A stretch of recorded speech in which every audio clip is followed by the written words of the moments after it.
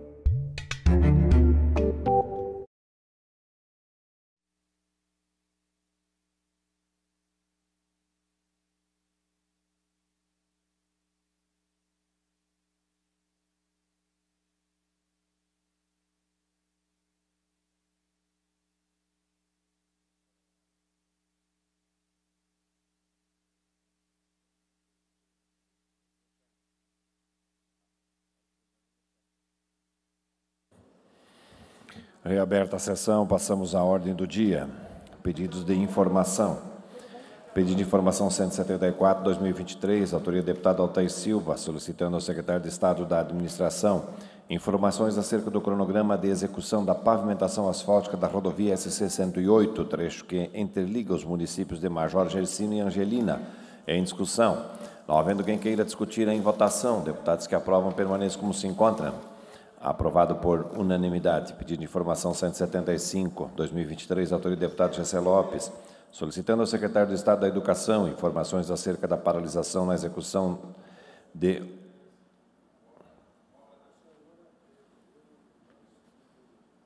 de obra em escola no município de São Pedro de Alcântara.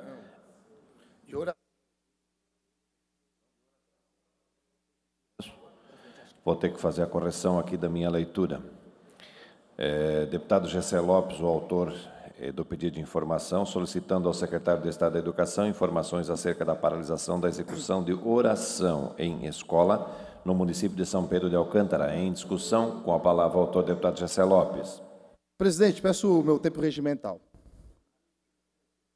Na cidade de São Pedro de Alcântara, Escola Gama Rosa, uma oração que é tradicional lá na cidade, foi suspensa. Há 50 anos, uma oração que é tradição da escola e de todas as escolas da, da cidade. Eu vou ler aqui a terrível oração. Ó Deus onipotente, princípio e fim de todas as coisas, infunde, infunde em nós, brasileiros, o amor ao estudo e ao trabalho, para que façamos da nossa pátria uma terra de paz, de ordem, de grandeza. Velai, Senhor, pelos destinos do Brasil. Essa é a terrível oração que foi suspensa na escola. Eu liguei imediatamente para o coordenador, porque eu atendi aqui pais e mães que estão indignados com essa suspensão dessa oração. E ele me respondeu que, por causa de alguns que estão descontentes da escola, provavelmente alguns pais, porque o Estado é laico e porque ele pela democracia, para agradar todo mundo, ele acabou então, ou ele acatou a sugestão da diretoria pelo fim da oração. Governador Jorginho Melo, nós precisamos de coordenador da educação que não titubiem quando chega esse tipo de demanda na secretaria. Porque a pauta do senhor é a pauta do PL, é a pauta dos bolsonaristas. Nós não podemos titubear quando a pauta for essa.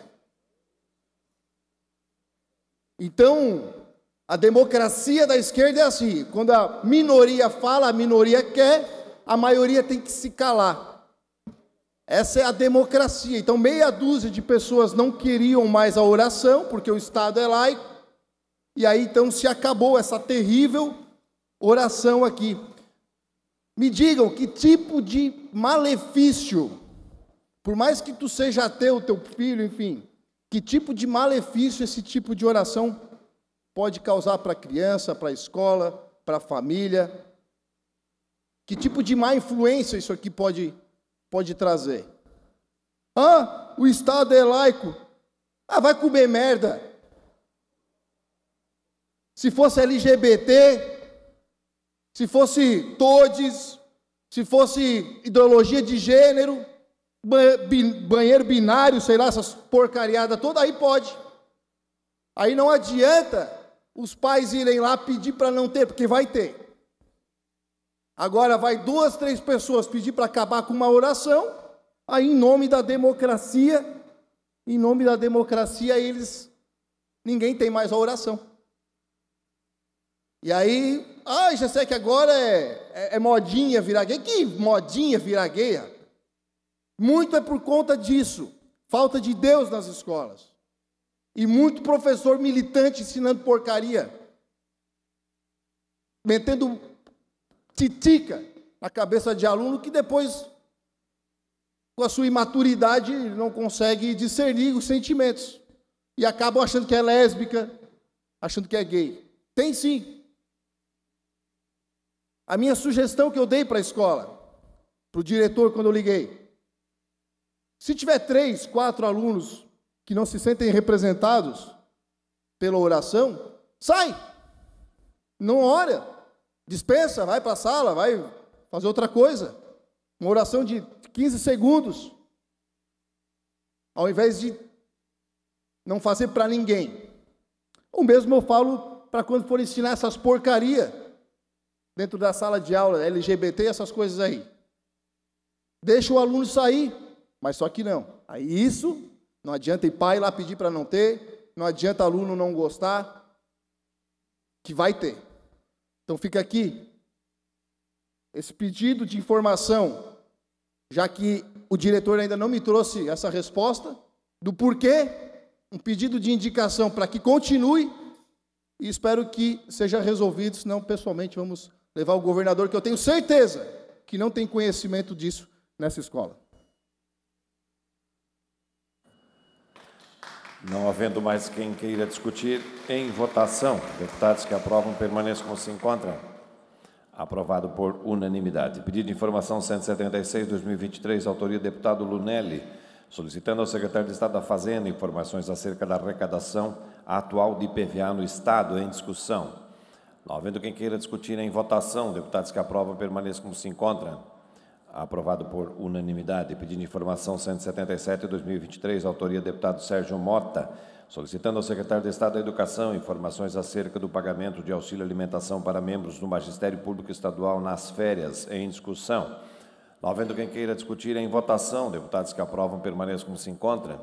Aprovado por unanimidade. Pedido de informação 178-2023, autoria do deputado Sérgio Mota, solicitando ao secretário de Estado da Educação informações acerca da carteirinha de estudante e de professores em discussão. Não havendo quem queira discutir em votação, deputados que aprovam permaneçam como se encontram. Aprovado por unanimidade. Pedido de informação 179-2023, autoria do deputado repórter Sérgio Guimarães, solicitando à Secretária de Estado da Saúde informações acerca da aplicação da Lei 18.024 de 2020, em discussão. Não havendo quem queira discutir em votação, deputados que aprovam permaneçam como se encontram.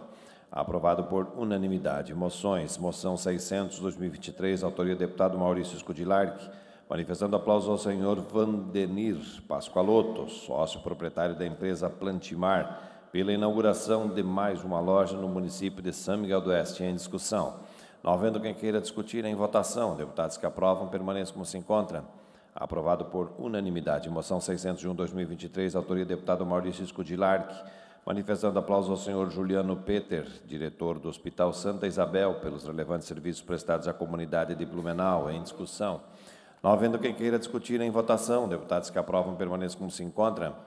Aprovado por unanimidade. Moção 602-2023, autoria do deputado Neudi Sareta, manifestando apelo à ministra da Saúde para que empreenda esforços para a inclusão dos medicamentos al alfa-galsidase e beta-agalsidase, a Relação Nacional de Medicamentos Essenciais, em discussão.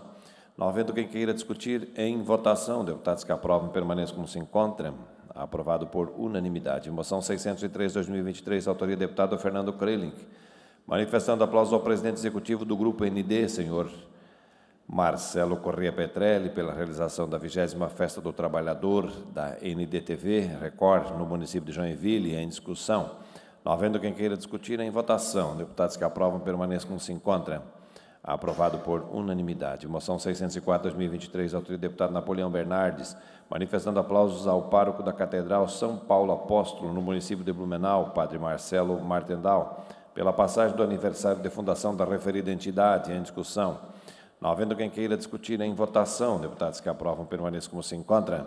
Aprovado por unanimidade. Moção 605-2023, autoria do deputado Emerson Stein, manifestando aplauso ao senhor Vinícius Voig Severiano, representante do Tiradentes Esporte Clube, pela passagem do aniversário de fundação da referida entidade, em discussão, com a palavra autor deputado Emerson Stein. Senhor presidente, só para fazer a colocação ali, o Tiradentes Esporte Clube da cidade de Tijucas está completando 76 anos essa entidade e que começou agora, reiniciou os trabalhos é, e esse presidente está levantando o clube novamente para que é, se torne um clube de tradição nossa região ali do, do Vale do Rio Tijucas. Então, é a cidade de Tijucas completando 76 anos. Obrigado. Não havendo mais quem queira discutir em votação, deputados que aprovam permaneçam como se encontra. Aprovado por unanimidade, moção 606-2023, autoria do deputado Napoleão Bernardes, manifestando aplauso ao atleta Daniel Passoalt Filho pelo título de campeão sul-americano de Remo Júnior em discussão. Não havendo quem queira discutir em votação, deputados que aprovam permaneçam como se encontra. Aprovado por unanimidade, moção 607-2023, autoria do deputado Nilson Berlanda, manifestando aplauso ao presidente do grupo Lunelli, no município de Jaraguá do Sul. Senhor presidente. Senhor Denis Luiz Lunelli, por ter sido eleita como uma das melhores empresas para trabalhar no estado pelo Green, Green to Work. Em discussão, com a palavra o autor deputado Nilson Berlanda. Senhor presidente, senhores demais deputados, para mim é uma alegria, Atídio, estar aqui fazendo essa moção de aplauso ao grande empresário que você é em Jaraguá do Sul.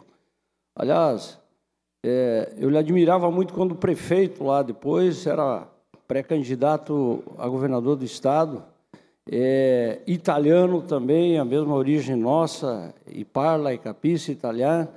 E, e, pelo exemplo que você dá, são 5 mil empregos diretos e indiretos que o Atídio, né, eu acho que já herdou a empresa do pai, deu continuidade, não? Foi criado, foi criado por, por Vossa Excelência. Então, parabéns pelo empresário que você é, parabéns pelo exemplo que você dá para nós empresários também em Santa Catarina. Você merece muito mais. Um grande abraço, sucesso e conte sempre com, com, com o Parlamento Catarinense.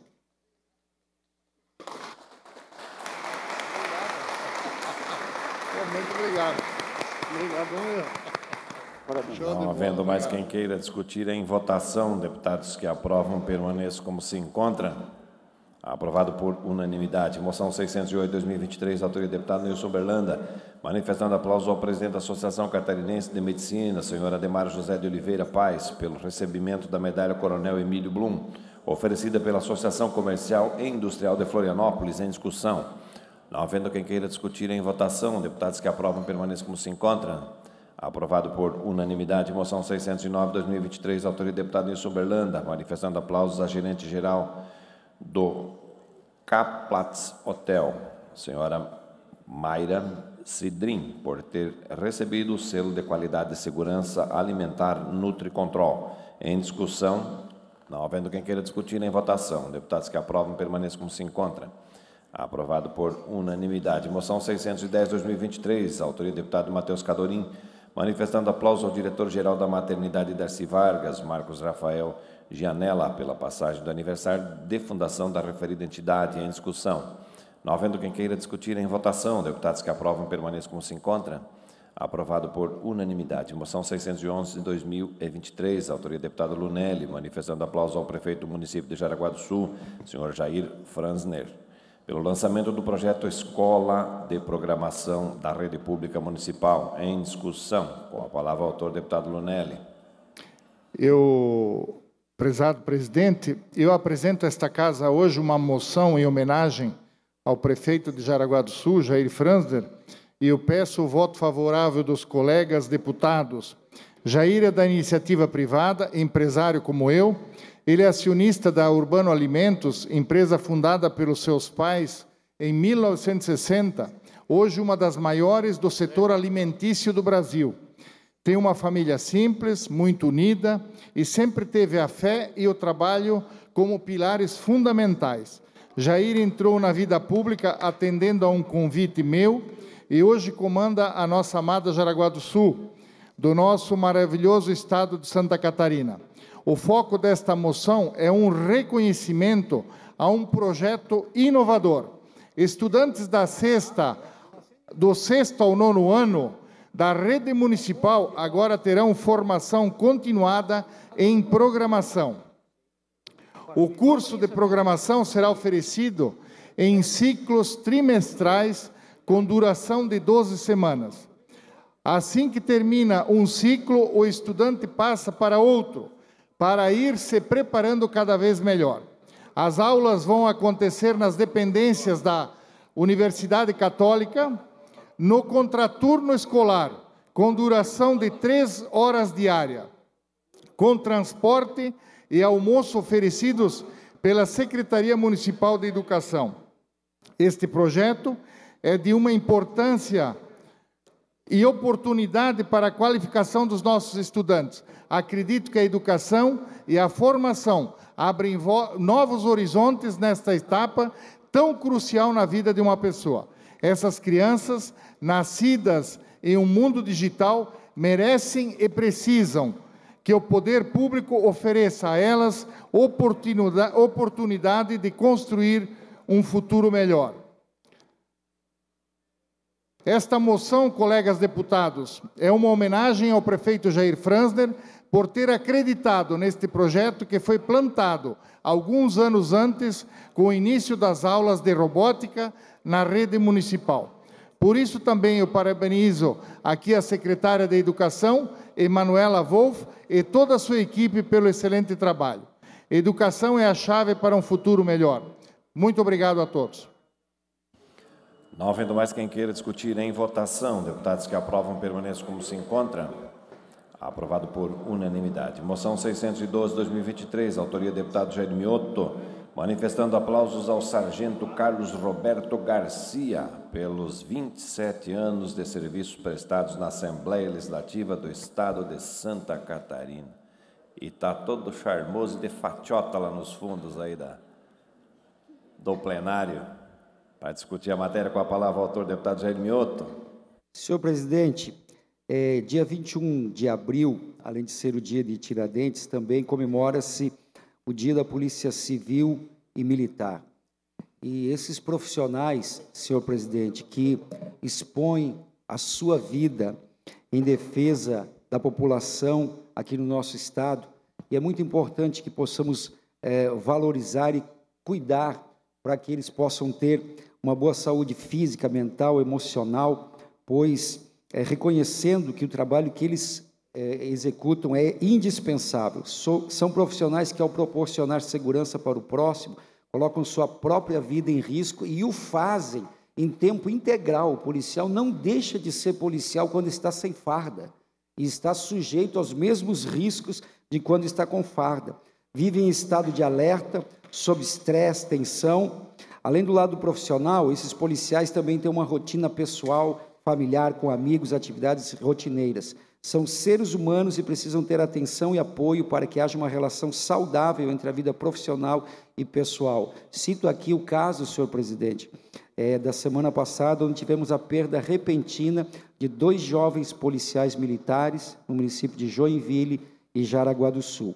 Então, senhor presidente, com essa moção, eu quero homenagear simbolicamente aqui é, toda a corporação, inclusive colegas aqui, deputados que são militares, e, e todos que prestam serviço também junto a esta casa, na pessoa do sargento Carlos Roberto Garcia, pelos 27 anos de serviço prestados a essa casa, mas além disso, né, Sargento Garcia, 58 anos de idade, é uma vida toda dedicada, manezinho, morador do Ribeirão da Ilha, iniciou a carreira na Polícia Militar em 1984.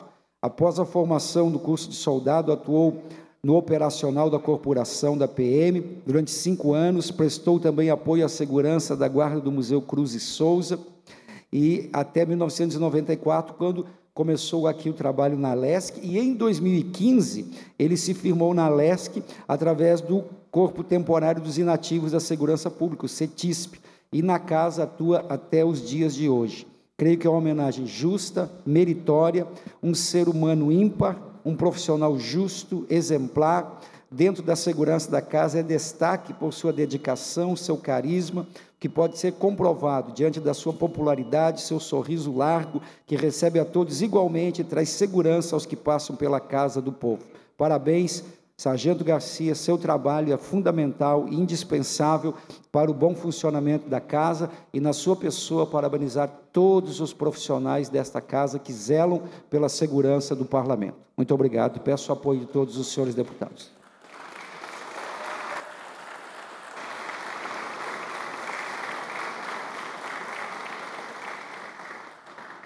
Não havendo mais quem queira discutir em votação, deputados que aprovam permaneçam como se encontram.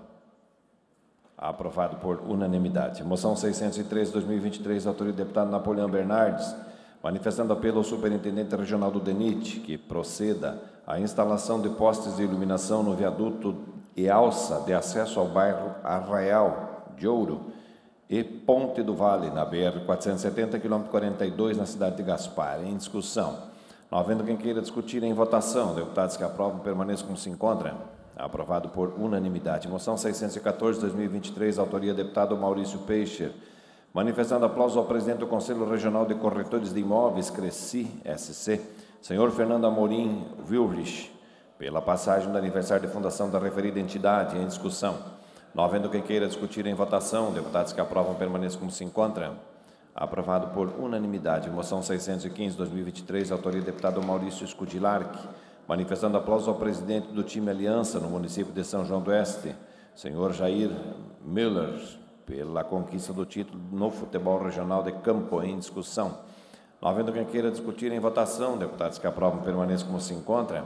Aprovado por unanimidade. Moção 616-2023, autoria do deputado Dr. Vicente Caro Preso, manifestando aplausos ao representante do Conselho de Administração da Indumac Máquina, senhor Célio Bayer, pela passagem do aniversário de fundação da referida entidade em discussão.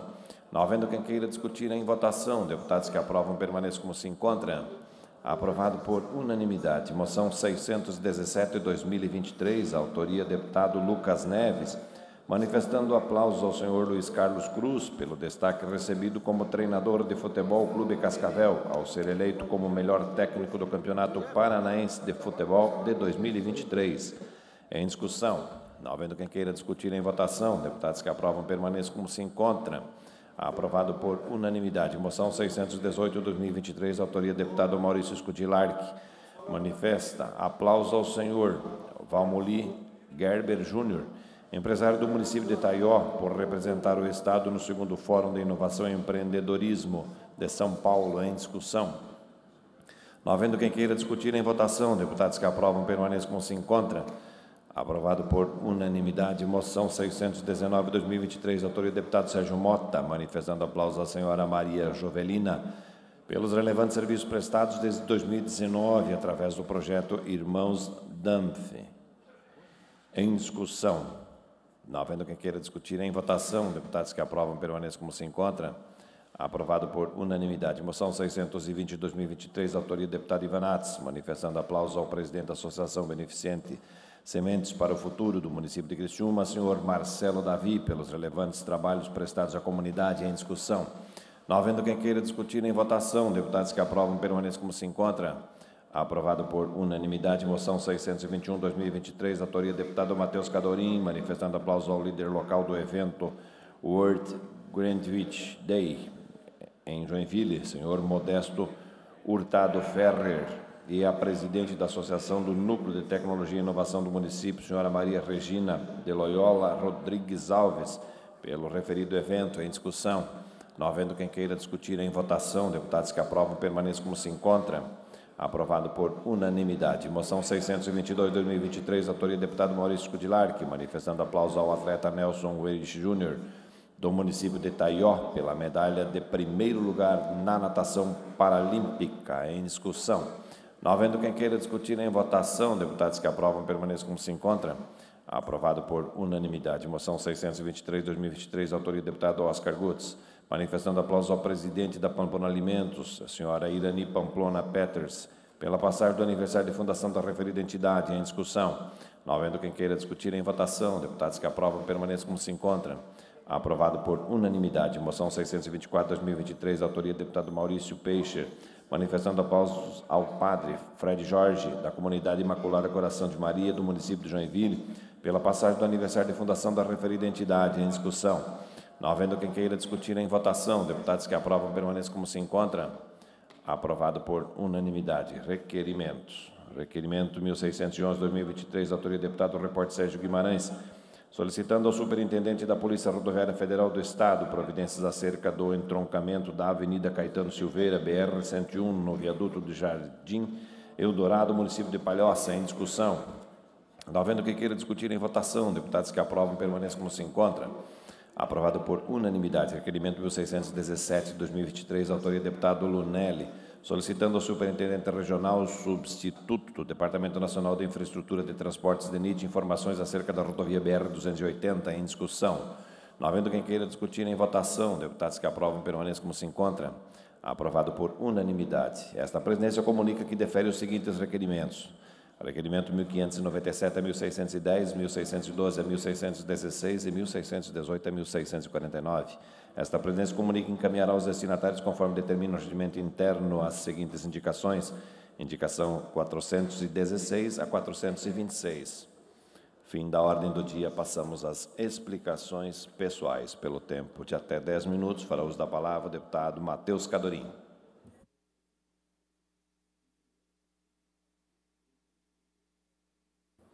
Antes mesmo, esta presidência comunica que, em conformidade com o artigo 322 do Regimento Interno e no uso de suas atribuições, constitui comissão especial integrada pelos senhores deputados Massoco, Ivan Nats, Marcos Vieira, Júlio Garcia, Fabiano da Luz, Camilo Martins e Pepe Colasso, com a finalidade de apreciar a indicação pelo senhor governador do Estado do nome do senhor Aderson Flores para ocupar a vaga de conselheiro do Tribunal de Contas do Estado. Palácio Barriga Verde, 25 de abril de 2023, uma ordenada ao presidente. Agora sim, com a palavra o deputado Matheus Cadorim. Obrigado, senhor presidente. Boa tarde, nobres colegas. É com muito orgulho, muita, muita honra que eu apresento para os senhores um conjunto de obras que vai nortear nossos trabalhos nos próximos quatro anos. Pediria, por favor, para passar o vídeo para a gente iniciar os trabalhos aqui, por favor.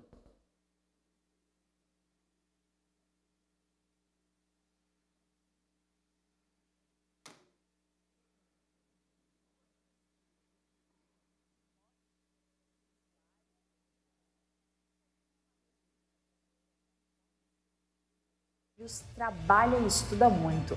Faz a diferença. Ou poderia fazer. Não fosse um relacionamento abusivo. Toda a sua força tem sido anulada por ele, que fica com todo o dinheiro e devolve apenas migalhas. Lhe tira o poder de decidir o seu destino e de cuidar dos que dependem dela. Catarina não é uma mulher. Sou eu, é você, somos nós. Catarina é o nosso Estado que vive esse relacionamento abusivo com o governo federal. O dinheiro vai, mas não volta. Queremos mudança e por isso estamos levantando esta bandeira. Respeita a Catarina. Eu, deputado Matheus Cadorim, estou comprometido com esta causa. O nosso Estado merece mais. Apoie esse movimento e vamos juntos garantir mais autonomia legislativa e financeira para a nossa Catarina.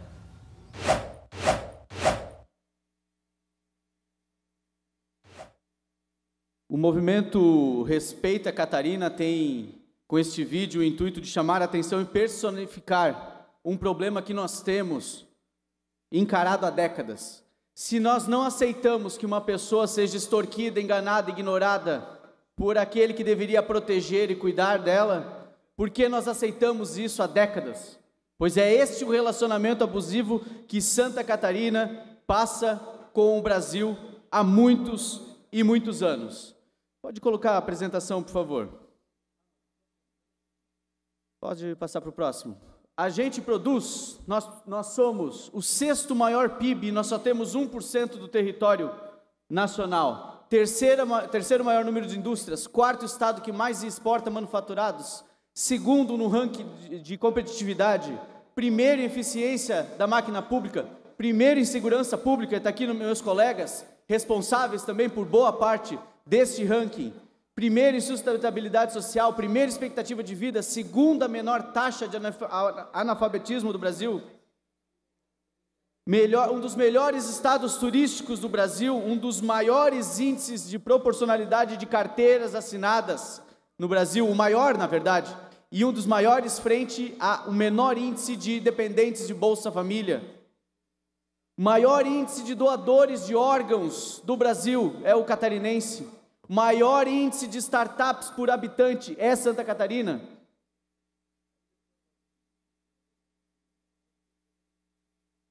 Mas a gente é aquele aluno aquele aluno que estuda bastante, que senta lá na frente, que tenta tirar nota 10 o tempo inteiro, enquanto o professor se preocupa só com aqueles alunos do fundão.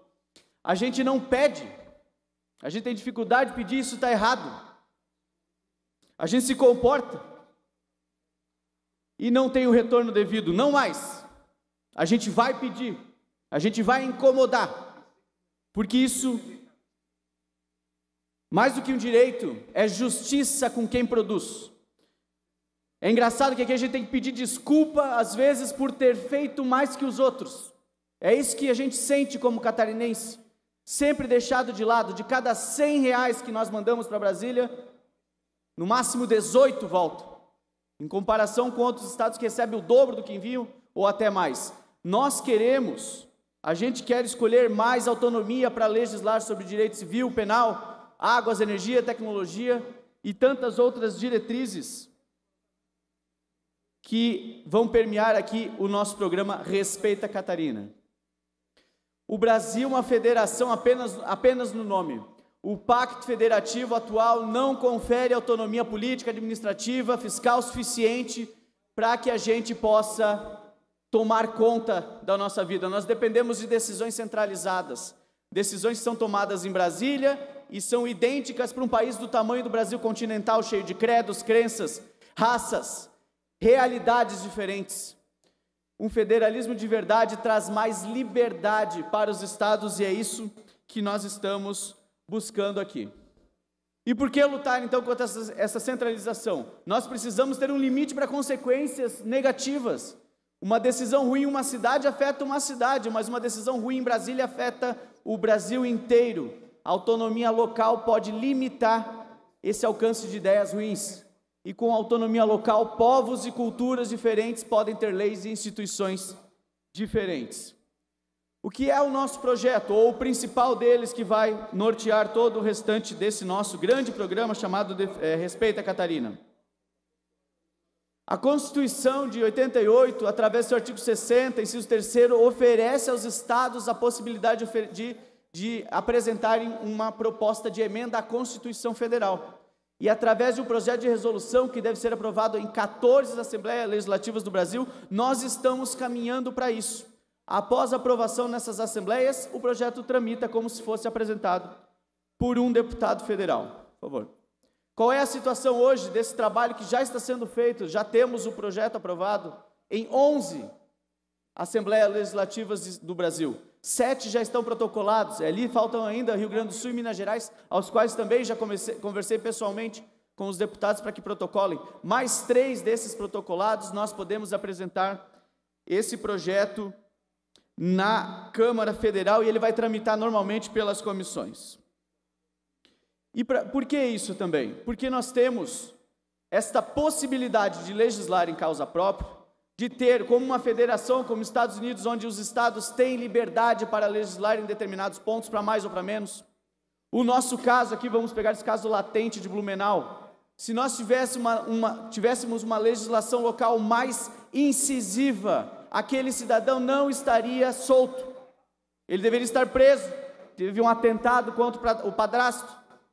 Deveria estar preso, não solto, foi lá e fez aquela tragédia. Nós podemos legislar sobre esse assunto também, e tantos outros. Respeita Catarina vai trazer um conjunto de ações, como, por exemplo, protagonismo internacional e atração de investimentos.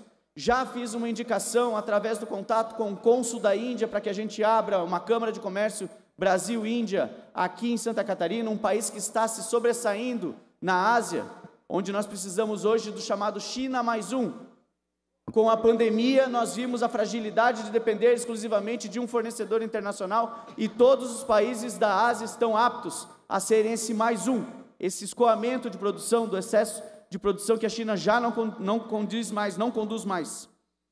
E essa indicação já está sendo feita para o secretário de Assuntos Internacionais. Outro grande é, projeto que nós vamos buscar aqui, como indicação, como auxílio ao governo estadual, Todos os programas de desenvolvimento regional, Sudene, Sudeco, Sudã da Amazônia, todos eles são definidos por tentar desenvolver regiões do país que estão com desenvolvimento desequilibrado frente a outras regiões. Pois nós temos uma região aqui que por vezes é esquecida injustamente, que é a região do contestado, que por anos, há mais de um século, sofre os resultados da consequência de uma guerra civil que flagelou a região e que até hoje aquela região não conseguiu se desenvolver.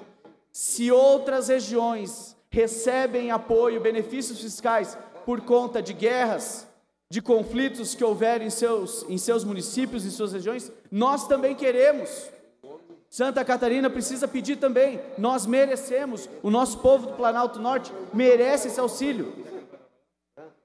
Nós também vamos focar na eficiência na indicação de privatizações. BR-280, caso clássico, outras tantas instituições e instalações logísticas do Estado que nós já, já cansamos de esperar, 40, 50 anos esperando o dinheiro vir de Brasília, sendo que nós produzimos recurso suficiente no Estado para desenvolver e para cuidar de todas as nossas rodovias, por exemplo, usando esse ponto especificamente. E mais, ao longo desses quatro anos, nós com certeza iremos apresentar mais projetos dentro do nosso grande programa Respeita a Catarina. Finalizo aqui com uma frase de um grande pensador, econômico, filósofo, desenvolvimentista, Nassim Taleb. Só quem bebe a sua água poderia estar administrando a sua vida. Só quem vive ao seu lado, sabe seus problemas, conhece a sua realidade, poderia estar legislando sobre você. Respeita o nosso Estado, respeita a Catarina. Muito obrigado.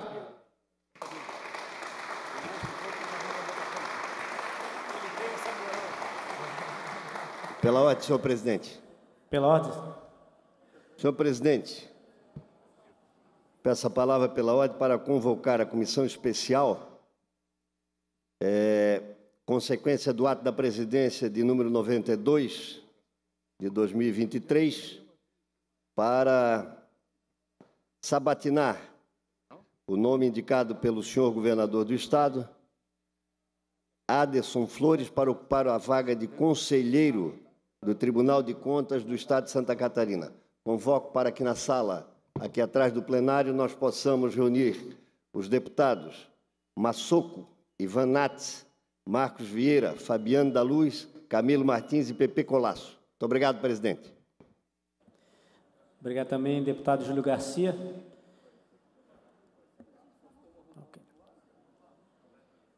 Ainda em explicações pessoais, o próximo inscrito para falar é o senhor deputado Antídio Lunelli. Deputado Lunelli, senhor, Vossa Excelência tem a palavra por até 10 minutos.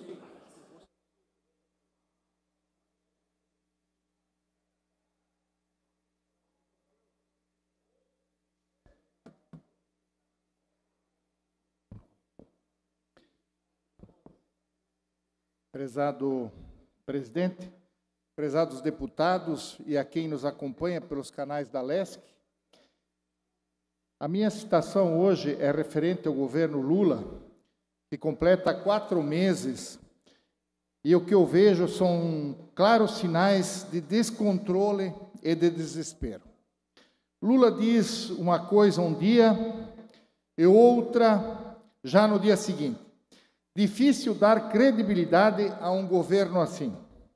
Na política internacional, temos acompanhado uma falta de coerência Lula quer ser o símbolo da paz, mas já falou tanta besteira que colocou o Brasil em uma situação difícil em relação à Europa e aos Estados Unidos. Conseguiu ser alvo de protesto em Portugal. Quem passa vergonha com isso é o nosso Brasil. Na área econômica, Lula quer uma briga pública com o Banco Central para tentar disfarçar sua incompetência. A taxa de juros de 13,75 ao ano é realmente escandalosa. Mas cabe ao Lula trabalhar para que o país possa diminuir essa taxa e não ficar falando um monte de bobagens que prejudicam ainda mais a nossa economia. O presidente chegou a dizer que poderia rever a autonomia do Banco Central. Olhem só o absurdo. O fato é que o episódio deixou claro que a busca por equilíbrio fiscal está em segundo plano. totalmente sujeita a conveniências políticas e ao populismo de Lula. De maneira geral, os principais ruídos na área econômica têm acontecido por falas e ações do próprio presidente da República. Lula repetiu que quer revisar a reforma trabalhista, uma ideia escandalosa. No campo, o governo federal provoca uma onda de insegurança, liderado, nacionalmente pelo ativista João Pedro Stedley, do, do MST, que foi levado à China com a comitiva do presidente da República. Tem promovido invasões pelo Brasil inclusive em áreas produtivas e de preservação e de pesquisas, para pressionar o governo pela reforma agrária e em busca de alguns cargos. Recentemente, o governo federal nomeou sete novos superintendentes regionais do INCRA e cinco são indicações do MST. Isso é premiar aqueles que praticam crime, é dar espaço para criminosos. E quem paga esses criminosos é o nosso povo brasileiro. E tem mais absurdos vindo aí. O ministro da Economia, Fernando Haddad, disse que está criando um grupo de estudos para voltar à cobrança do DPVAT.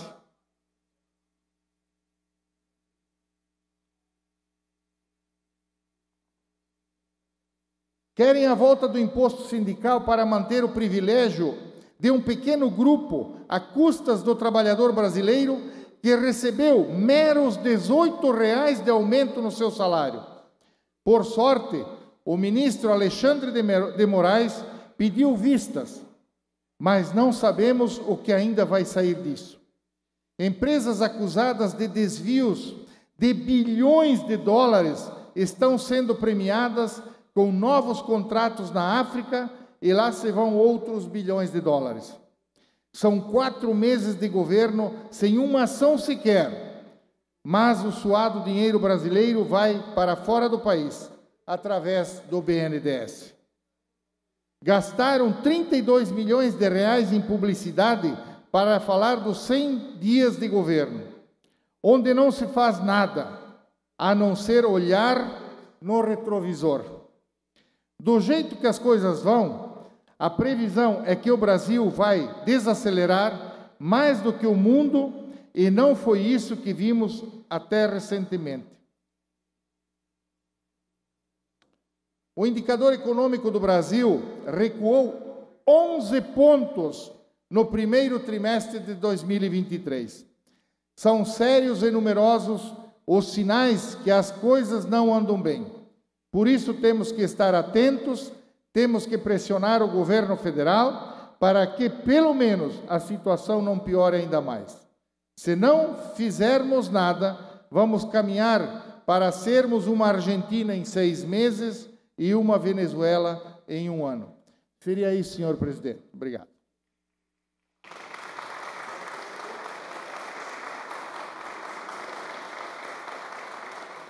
Muito obrigado, deputado Antídio Lunelli. Não havendo mais oradores inscritos, esta presidência, antes de encerrar a sessão, convoca outra ordinária para amanhã no horário regimental. Está encerrada a sessão.